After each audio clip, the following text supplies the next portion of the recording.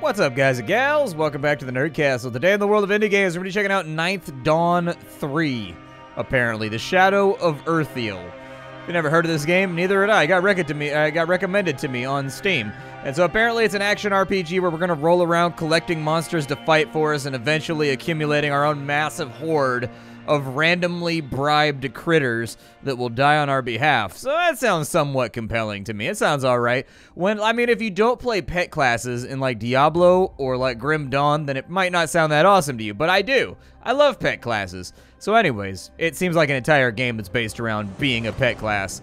Let's go for it. Uh, we got to pick what our character looks like here.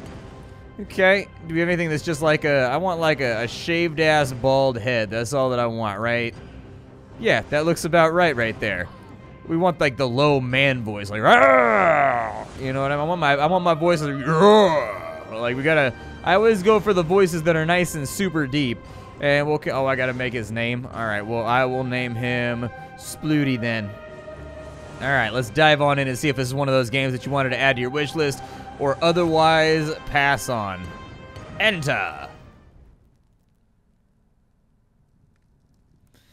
Alright, so we appear to be stuck inside some kind of dungeon. Oh, I like how the character is actually 2D and it does like kind of a Paper Mario turn. It's kind of cool. Apparently I can punt. I got a potato. I didn't used to have a potato. Now I got a potato. Look upon my spuds and despair, ye viewer, for you have none. Apparently I found four gold and another potato. Now I have two potatoes. Despair even further. And what does this do? We can open a chest. Ooh, nice. Yeah, I'm going to take all the things, and then what does this one do? That one's got like a sword inside of it and also a sharp stick. Is a sharp, it's a pole arm? Dude, I can have spears? Well, I'm going to have spears then. I have to.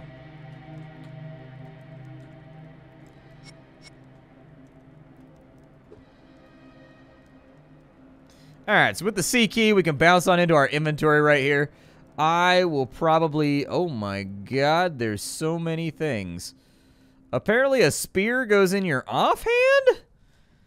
Okay. I mean, that's a two-handed sword. Does it go in my offhand too? It does. It doth, as they would say in the medieval times. And then apparently we just, like, thrash around. That's how we defeat our enemies. Just like, ah, ah, we just thrash all over the place and hope for impact. All right, let me go over this. Hey, there's another one in here. I want this one. What does this have? It's got a magical glowing stick some gold that looks suspiciously like candles, some bandanas, and some gloves. I'll take it. That sounds pretty decent to me. What does this say right here? Open your inventory and navigate to a well. Oh, that's fine. I already figured that part out. I already got a little bit ahead of the curve. Like, I tend to skip over tutorials, and then it gets me into trouble later. What does those do right there? Maybe I have to turn into mist or something in order to get through there. Maybe we got to use, like, vampire powers or something. I don't know. There's a scary rat over here. Like, how scary is he? He didn't seem that scary. I was able to stab him with a small piece of rebar that I found on the ground, and it seemed to kill him just fine. So, a scary rat, if you're using the mouse, you can stab him. Very nice. Uh, the fiend was defeated pretty much instantaneously, so I don't think there was going to be any need for any ducking or, or dodging there. What does this one say? You've been rewarded and leveled up. Apparently, we can allocate points and stuff too. So we've got our abilities over here, but we don't have any ability coins, which is kind of a bummer. We do have skills, though, and in fact, it does seem like there are a great many of them. There's a lot of skills over here, from crafting skills to actual practical skills. We've already leveled up polearm one time. Hells to the yes. Uh, we've got five points to spend. So increases your physical attack damage and contributes a small amount of your maximum health. This will give us damage with daggers, bows, and crossbows and makes you move faster. Endurance increases our health and maximum stamina. Our intelligence is going to increase our magical attack damage and restore spell potency.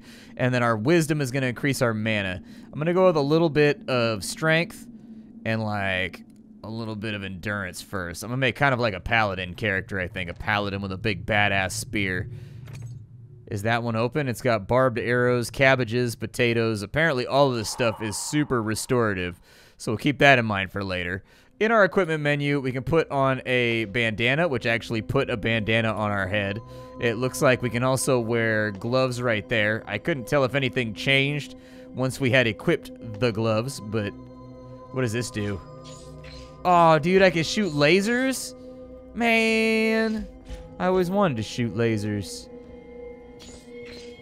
The lasers don't appear to do that much damage, though. They, they don't seem like they break crates very fast. I would like to change the size of that text over there. It's a little bit too large. And wouldn't you know it, there's an option in the options that allows you to set up exactly how big you want the UI to be in increments of 5%. So, like, it's very, very customizable. I shrunk it down by about 25%, and I feel a lot better about the screen real estate now. I'm kind of a stickler about my screen real estate, all right? I just can't help myself. And our equipment menu, I'm to put my, my Spearino back on, right? What is this thing?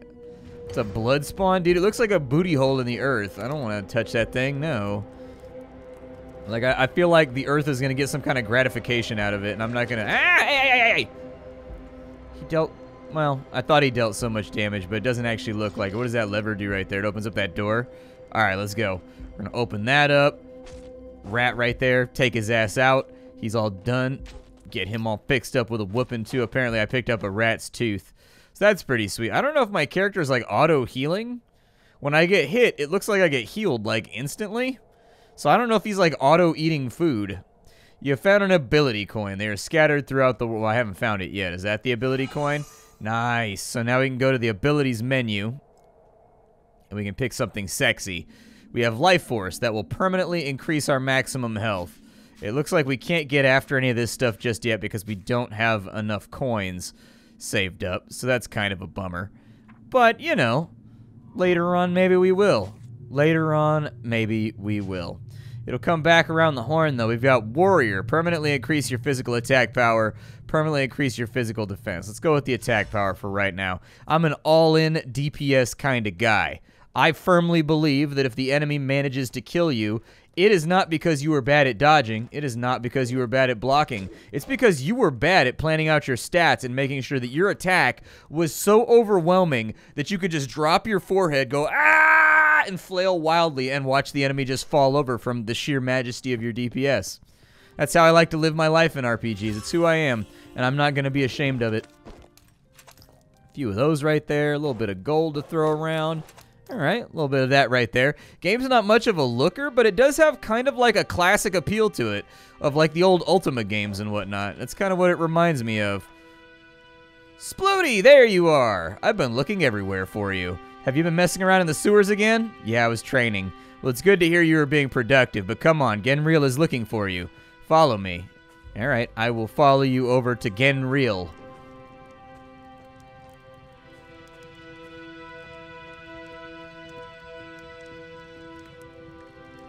Genreal, I brought Splooty for you. There you are. Where have you been hiding away? I've been training. Fleen said you wanted to speak with me? Yeah. Uh, what was it about now? Oh, yeah. I received word from a neighboring village of Furloon. The village elder at Furloon has asked me to provide her with a soldier for a mission. A soldier? Of course, a soldier. There's been some rumors about ghosts or some peculiar like that, and they're raising a party to investigate the ghost talk. Comes at a very strange time. Monsters seem to be running wild these days. As such, all of our soldiers have been put on permanent guard duty to protect us. May come as a shock, but you're all I can spare at the moment. I need to send you, Splooty. Alright, sure, why not? Commitment. That's why I chose you. I knew that you would take it in stride to help us. Woohoo! Yay, Splatty! Uh, make your way to Furloon and seek out Esteline. Tell her I sent you. To get to Furloon, head north out of our village, then follow the northwest path until you get there. All right, sounds good. All right, great. Have some coin to buy yourself some supplies and make sure you get some food before you leave. Take your time to explore. Perhaps you'll find things that will help you on your journey. I'm sure Esteline will understand if you're late. All right, cool, man. Uh, well, let's look around. Like, is everything breakable out here? Because legit, like, I'm to wander through this village and I'm just to, like, break everything. Like, it's all getting broken. So there you go. I've broken the hell out of everything. I mean, there's an armor shop down here. We might be at Play Feud. What is Feud? We don't have enough cards. Oh, the game's got a card game. I can sell you some cards for 200 gold. No, I'm good, man. I'm solid. I don't want to... So here's what's going to happen. Any game that's got a card game, Oh, that's like his house? Oh, I thought he would want to, like, sell me stuff. I guess not. I guess not. Medium John. What's up, Medium John?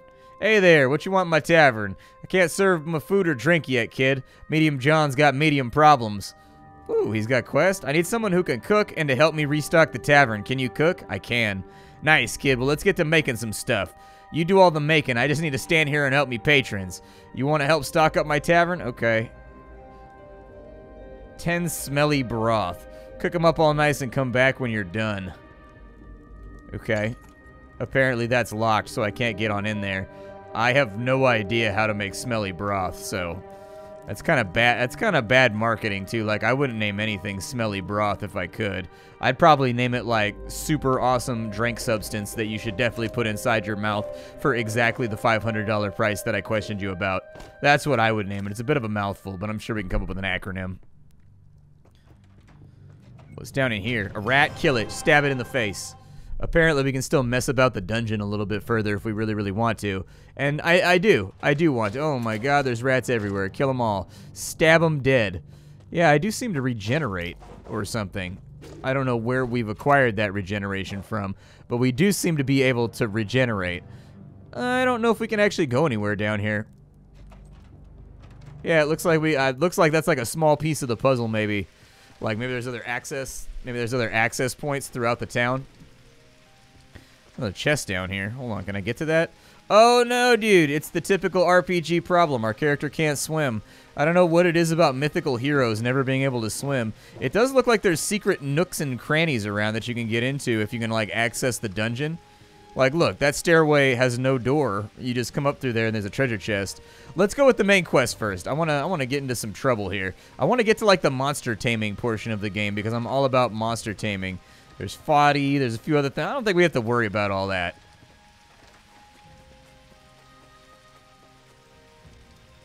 Hey, you there. Before you head out, let's play a game of Feud. I've played everybody in the village except you. Let's go. You have any cards? That's too bad, but I want to play so much that I'm going to give you some. Now let's play. Apparently we're playing Feud. Alright, so we get nine cards from storage, and we use them for the game. When it's our turn, we select a card and put it a place to put it on. If you place the card next to or on top of an opponent's card, they enter battle. There is a stat corresponding in the direction that is used. If the newly placed card is a greater than or equal to... Alright, let's do it. I believe. How many cards do I have? Not that many. Not that many.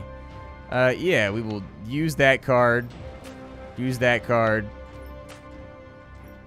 Yeah, just bring all the cards in the world. Apparently we're going to be doing some kind of like battling or something. Alright. I don't know if I'm doing the right thing here, but I guess we'll figure it out.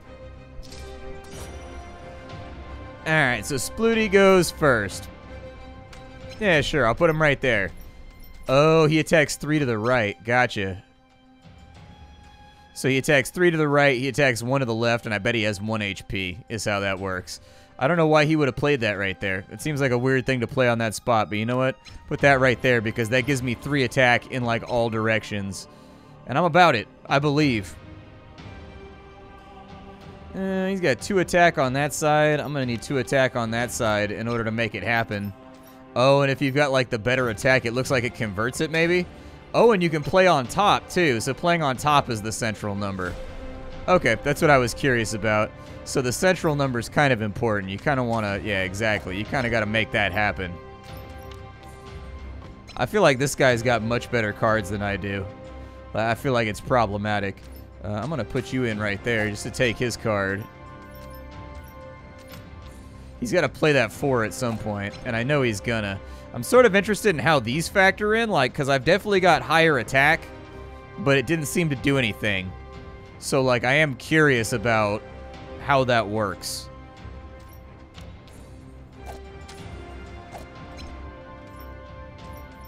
Huh, interesting. It did work right there. So maybe if it's equal, nothing happens? So the 4 is officially down. That's just going to be his from now on. There's not really a whole lot I can do about that. It's nothing that I want to play. Can I just, like, skip my turn? I don't know.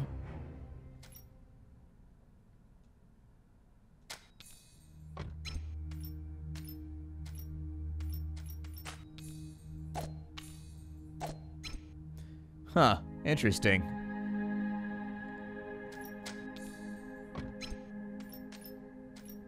Apparently three is the maximum that can go in any space, too. Alright, good to know. Good to know. So I, I think it's got to be greater than. It can't be equal to. Otherwise, you don't take the card. I've got like a zero, and everything's pretty much locked down. So I'm pretty sure we've lost here. Not just like lost, but really lost. But then again, it's a weird-ass game. Oh, he gets to steal one of my cards. Oh, so it's like high stakes. We're like racing for pinks out here. Gotcha.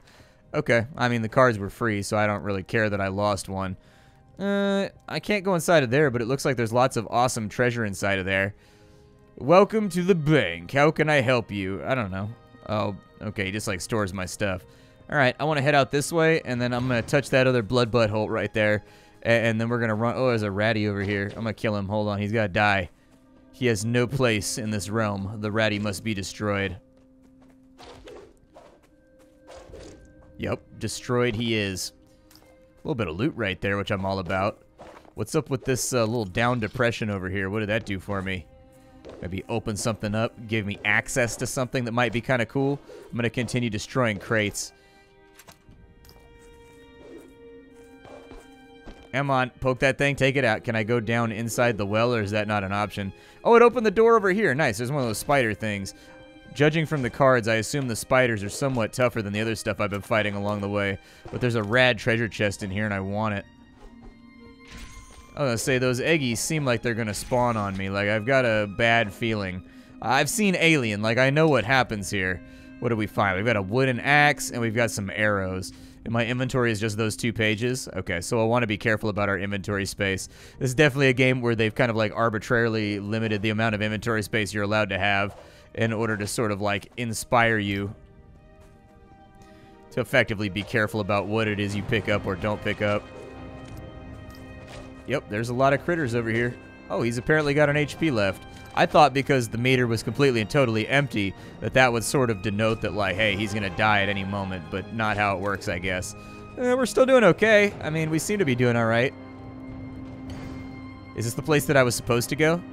This kind of seems like maybe the place that I was supposed to go. Fifth Swin. Okay. Well, at least we got him and not Fourth Swin. Oh, the gate is locked and you may not enter Furloon. I have business here. Genril sent me to see Estelaine. Oh, you're the soldier they sent over. If that's true, maybe you can help me out. You see, the truth is I've locked myself out and I'm too ashamed to shout for help. supposed to be protecting the gate, you know, the amount of ridicule I'd get if they found out I locked myself out. All right, well, how can we open the gate? Well, I can't really leave this station, but you can. The switch for the gate is on the other side right there. You see it? There's a secret entrance to the switch room, and you can get there by entering the loopy ruins below and navigating through the caves to the other side. I'd go myself, but I can't leave. Honestly, I would do it. I'm not scared. I'll go through the loopy ruins and open the gate from the other side. Thanks, man. Dude, worst guards ever. No wonder they're having to outsource, like, their people that are coming through to hell. Oh my god, there's bats.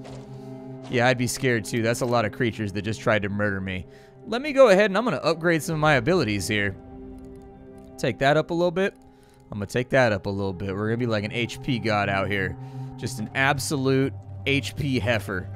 And we've got ourselves a wooden sword right there. We've got some shoes that are plated with wood. Just in case. We're using that old Dutch. We got them old Dutch clogs on right now. So we can do like a little happy tappity dance whenever we come across victorious. Alright, so stab these dudes over here. Nothing going on inside that room except for a whole bunch of really foreboding coffins that I'd rather not play around with. Uh, if you could just dive for me, that'd be great. Thank you. Just take a dive there, sir. Take a dive. I don't see a switch or anything that I can fiddle around with. But, oh yeah, I need to put my shoes on too. I'm like adventuring shoeless right now. It's not a good look. Nobody trusts a hero that ain't got no shoes on. It's just the way life works. There you go. So we've got shoes on now. Hells to the yeah. Is that like on right now? Oh, like I never put, I don't even have pants on, dude. I haven't put on pants or anything either. Apparently I like loaded my clothing into my backpack and was like, no, no, no, we're hanging brain today. Before we went on our adventure, I guess like we celebrated the adventure by initiating it pantsless. I could break all these crates, but frankly, I don't feel like it. I don't have an AoE ability or anything yet that makes me feel better about the whole thing, so like, eh. Spider, here, get stabbed in the face. And there's our ruins. On a scale of like one to holy shit, how deadly do you think these ruins are gonna be? Probably like somewhat deadly, right? I gotta stop breaking crates, man. It cannot be that important to break crates for five dollars. It just it can't be. I'm gonna I'm gonna stick to that spider can open doors, dude the game done changed. Spiders the size of dogs, and they have thumbs capable of grasping door handles. There are things to be worried about in the world right now. The easy seasoning. I really feel like they missed out on an opportunity just to call it like easening. Like I don't know. It would have shortened the word on down, and that could have been like definitely a marketing ploy. You know, just to get the name out there, let people know what's up. Nice. Yes, continue eating a great many. Apparently, it's HP regen. And I wasn't aware of it. I can dodge. However, you know, it's a little, it's, you gotta wait for the attack animation to resolve itself, otherwise the dodge ain't going off. I do like the enemy density. I, I do think that for any kind of, like, action RPG, you really do want to have, like, a lot of enemies on screen at any given time it makes games entertaining. Like, I haven't been able to get into certain action RPGs, even though I am a fan of the genre, simply because there's not enough enemies, dude. Like, I want to hold down my right click and nuke like a thousand enemies from orbit every single time I go into combat. I'm not trying to fight like one or two enemies at a time. I also don't agree with cooldowns. I don't like any action RPG that puts my abilities on cooldowns. I want to be able to freely spam all of my abilities as much as... Ow, dude! I don't know what's happening right now, but it hurts.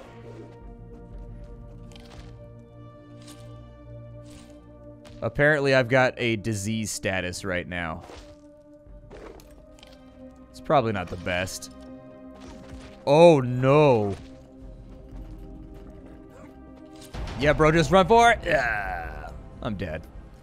I, I, I got arbitrarily diseased, so I didn't know it was going to kill me. It kind of is what it is. Sometimes you have bad luck.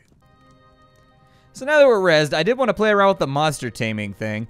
It, it, looks like we can do monster taming over here. It looks like creature bait is like a lot of money. It's expensive. So like be aware. Oh, that's equipped. All right, we'll sell it then. Yeah, sell all this stuff. Like anything around here that I'm not actively using can go. Although I do like the idea of like a dagger. So the traps are like super expensive in order to trap these critters out here.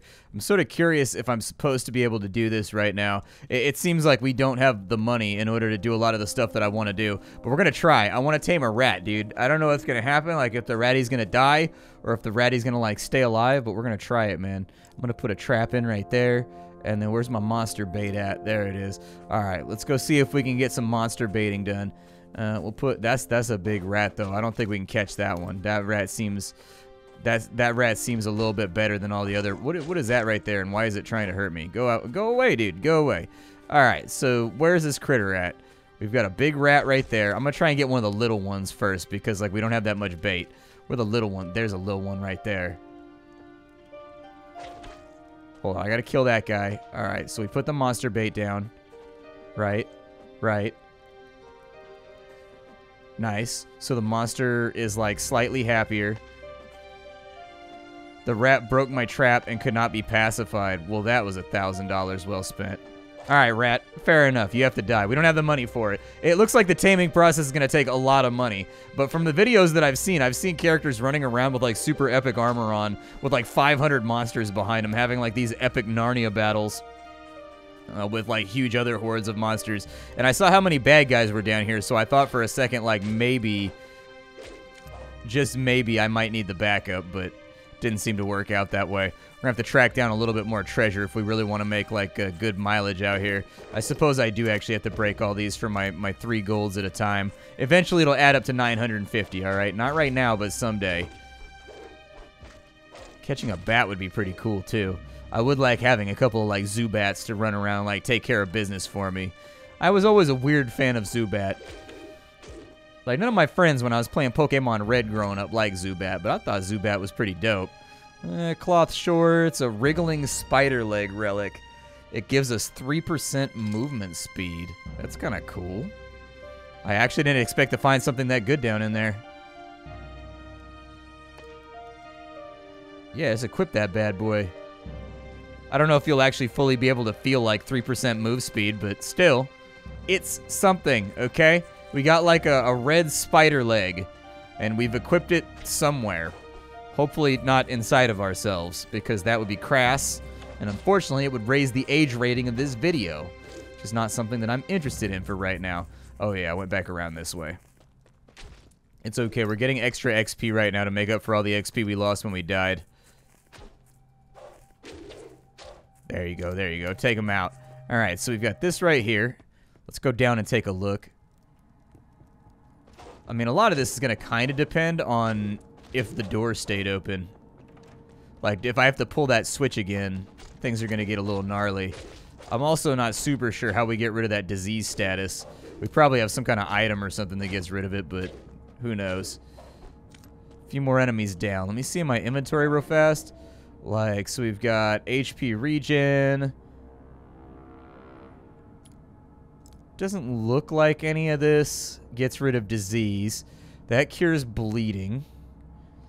And restores a decent amount of our HP. Okay. Yeah, I don't think we have the curative item required in order to get rid of a disease just yet. But maybe someday. Maybe someday. I do like kind of the volume of loot and stuff that you get as well. I've always felt that like the secret to a good action RPG is having like an ass ton of loot just like explode everywhere every time you kill anything. And like you can make it all low quality and low grade and like gold and like gems. It doesn't all have to be stuff that people care about. You know, it doesn't have to all be legendaries. Although I think a lot of action RPGs have learned that lesson. If you go through and look at Diablo 3 and Borderlands, and you start looking at like a lot of the the looter shooters or action RPGs around, I've noticed a lot of them are dropping a lot more loot nowadays than they used to when I was a kid even like legendaries and whatnot included because they've realized that like you're not just trying to get the legendary you're also trying to get the perfect roll on the legendary. And so like having it drop from time to time when it's already like a 1 in 500 that you're ever going to get a perfect roll is you know it's part of the fun, I guess. You can disenchant it and use it for something else, maybe. I like the little map they have up there. Very, very cool. There's a lot of like little old school inspired things about this game that I like. And in fact, I don't actually necessarily think the graphics are altogether that bad either. Like they don't look great and the the the, the animations aren't fantastic, but like the pixel art for the backgrounds and like the set design and like the objects and whatnot is competent enough that I, I think that like a lot of the things they did graphically were a conscious choice because like the backgrounds look really, really good. They look nice. Uh, the main character looks okay too. I do like kind of the paper doll thing that they've done with a lot of the characters. I'm gonna need to level up at some point, but it's just like every single room is full and full of so many monsters that all want to kill me, and rats that know how to open full-size bulwark doors that, uh, you know, I really haven't gotten the opportunity to do so yet. I want to kind of hack my way down the middle right here. Is there any food inside of here, dude? Exactly. Your boy needs some healing, man. Another bandage. Definitely take that. I feel like this is going away from the city. I don't think that this tunnel is taking us into the city anymore, but frankly, I don't really mind because I enjoy a good dungeon crawl. Always been a dungeon crawl guy. I don't really need like a fat narrative so long as the character customization is on point and like you've got dungeons that are compelling and nice to look at. That's why things like the Bard's Tale always worked for me is because like the storyline's cool and everything. I don't really care about it that much. But like Grimrock, for example, not like a ton of storyline. I mean, there's storyline in it from like the things you pick up, but I never felt like that was the point of Grimrock. Like the point of Grimrock and what made Grimrock so great is that the dungeon design was fantastic and there were secrets like all over the place that you could unearth with meaningful loot inside of them and that just always made me really really happy. Sometimes narrative is not everything. Oh, hey, we got an ability coin down here. I figured there had to be, oh, that must have been a boss or something. That dude was kind of beefy. Oh, I've been poisoned. Interesting. Well, the poison seems to have fallen off, so I think we'll be okay. I like that they just rewarded me for exploring further down into the dungeon and going off on like a weird tangent in a different direction by getting an ability coin. I like that. That's a really, really good sign when it comes to level design. Uh, like what a bad developer would do right there, what somebody that doesn't know what they're doing would do right there is like at the end there wouldn't be any real payoff, or there would be just some monster at the end that drops like randomized loot. Like I like the fact that they gave you something that was important to your character's progression at the end of like the ancillary area.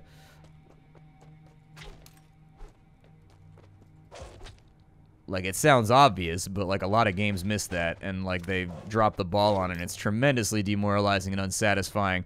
And it really it takes away one of the main hallmarks of RPGs, which is exploration. But anyways, I think that's pretty much all I got for you today. Uh, this is Ninth Dawn. I hope you guys have been enjoying the play.